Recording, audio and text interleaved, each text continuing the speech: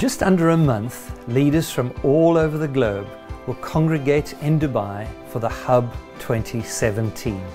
This exciting event is aimed at us gathering as a church family, international church family, to hear from God and to be shaped for all He has for us in the future.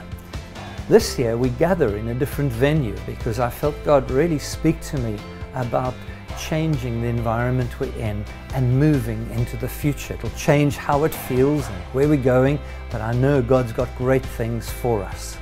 I'm thrilled once again to say that Terry Virgo will be with us and also our growing global team who will be ministering with a concentration on great worship, the prophetic, and a longing to hear fresh revelation from God.